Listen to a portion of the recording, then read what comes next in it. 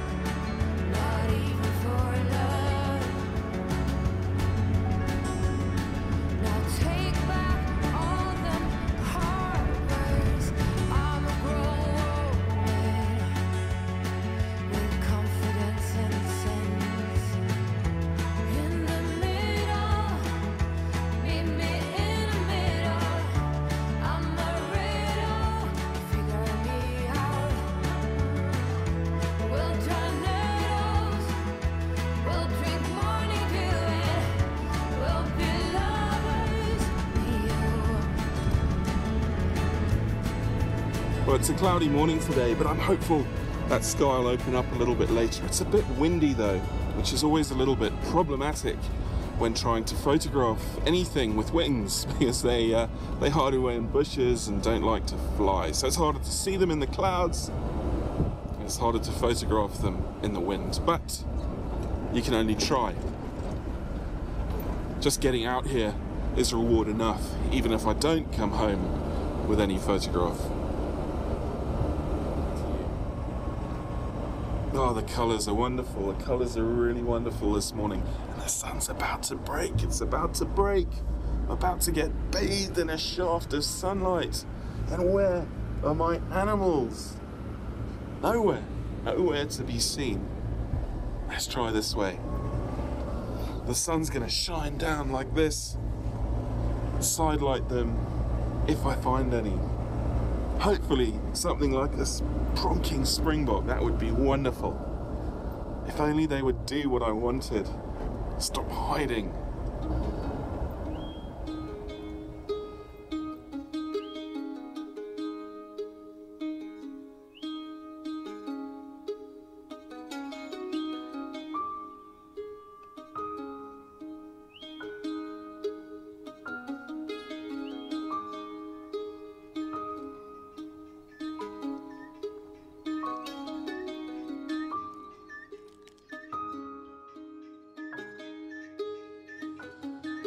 Well, I did manage to find some animals to photograph.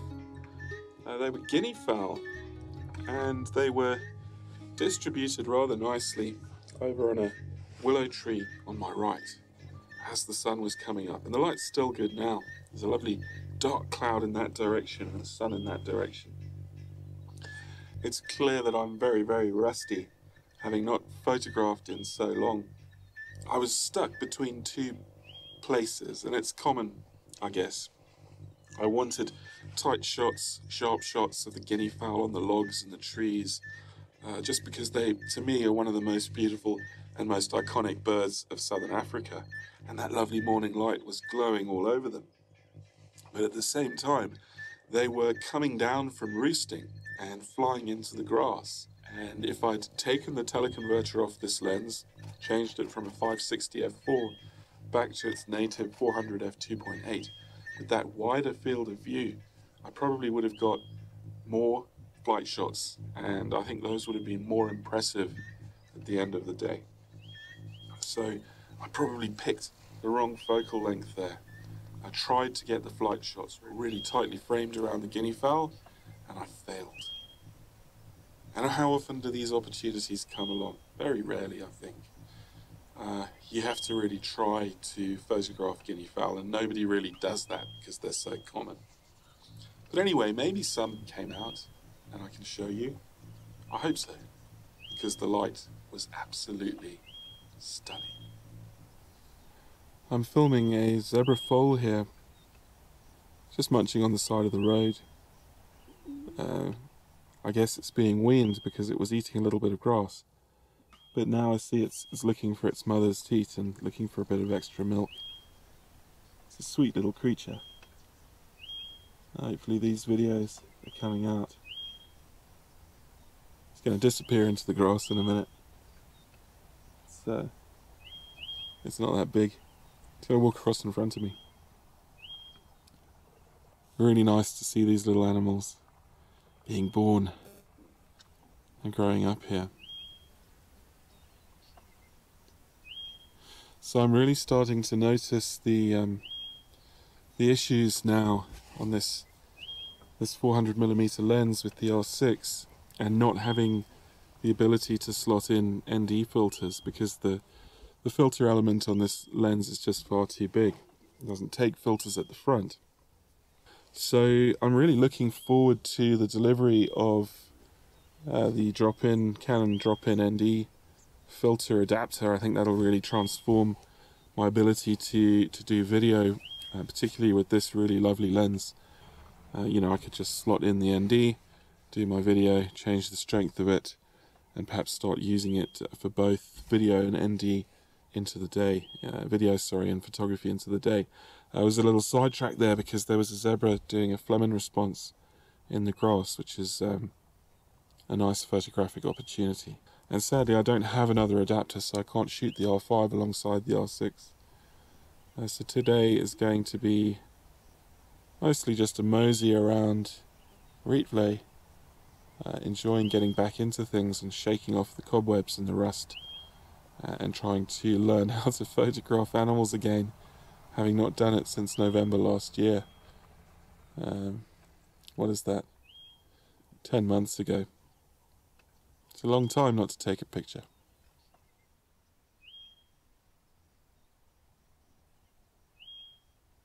Now, one of the nice things about these R6 and R5 cameras is you can program them to have the shutter down when you change lenses, which for someone like me in a place like this is a fantastic advantage.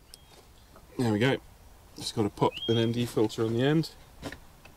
We've got a much smaller form factor, nice zoom, much more appropriate for video.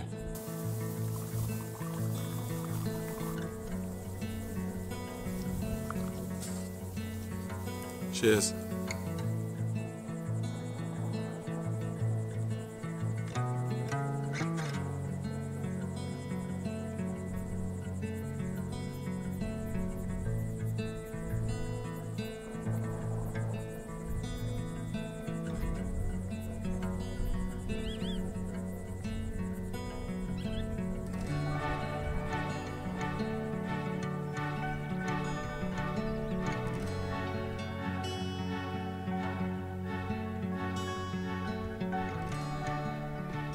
I've just been having a, a little moment with a crested barbet, one of my favourite birds. It's one of the birds that made me fall in love with South Africa when I was a six year old and visited here for the first time. Really beautiful yellow and red and black bird. Very personable, great character, lots of bravado and confidence. And I'm sitting here amongst some dead eucalyptus trees. Eucalyptus trees are invasive, uh, which is why they're dead. They've barked them to try and stop them growing in South Africa. But dead trees are a wonderful draw for birds like this. It's always worth just checking out perches on these trees. You can generally see that there'll be droppings uh, on the trees where, where they sit. And that's usually an indicator that these little places are favoured by a particular bird. So a barbet would be one of those bird species here. A red-throated wryneck might be another. In this case it was a barbet. And although I couldn't see it immediately, just stopping here, taking the time to have a cup of coffee and waiting patiently for the bird to appear allowed me to get some nice footage of it. It's a bit far away to get a decent photo, especially with this full frame. So I've got the two times extender on this 100 to 400, but a very satisfying experience waiting for something to appear and actually getting a clip of it.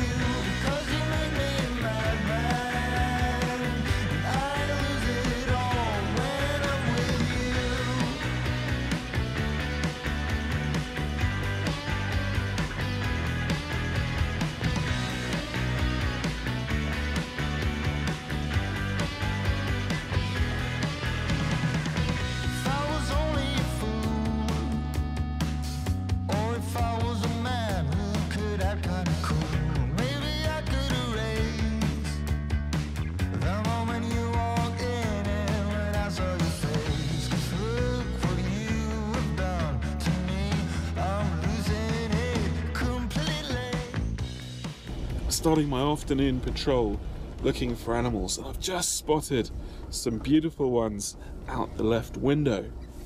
They're a set of Africa's largest antelope, the eland. They've got wonderful spiraled horns there, bigger or as big as a pretty large cow, and they have clicking knees.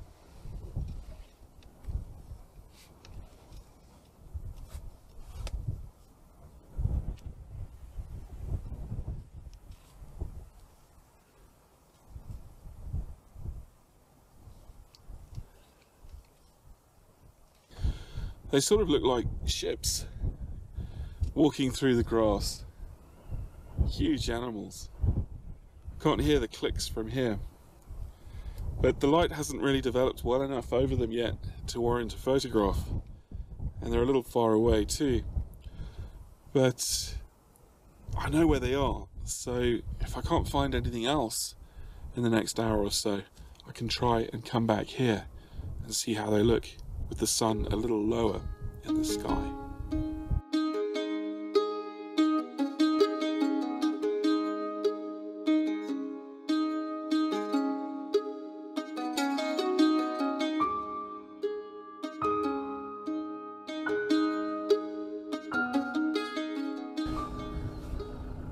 Uh, it's afternoon now at Rietvlei. Uh, I've had a bit of a sleep and drove around, did a bit of filming.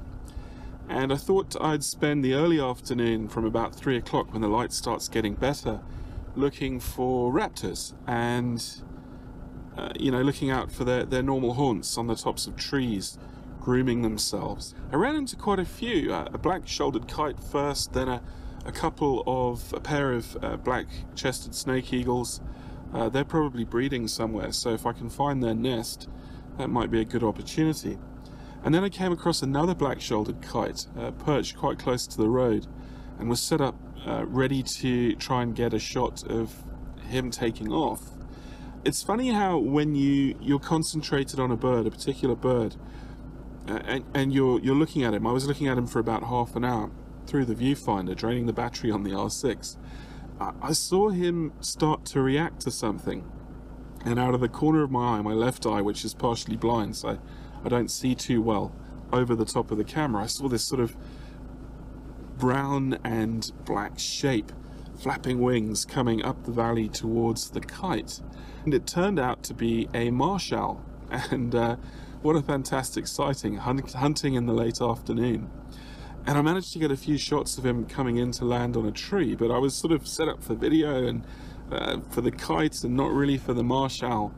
But I think I got a few shots with the R6. I hope so. I was in electronic shutter, so I just jammed on the button there and, and uh, sprayed and prayed. But I'm going to keep driving up and down this road because a hunting marsh owl is pretty nice to see in this kind of light. And perhaps he's still somewhere in the valley. That would be good.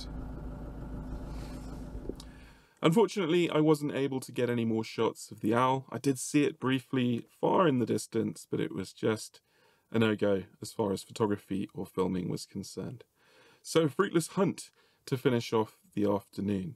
Now, being that this video is a, a first day out with the R6, I'd like to include some details about the camera, some likes and dislikes, but I'm conscious that not everybody on this channel is that interested in this camera. So I'm going to include that in a separate video, which I'm going to link here and probably post at the same time. It's just going to be a brief first impressions video for you if you're interested. I'll see you next time.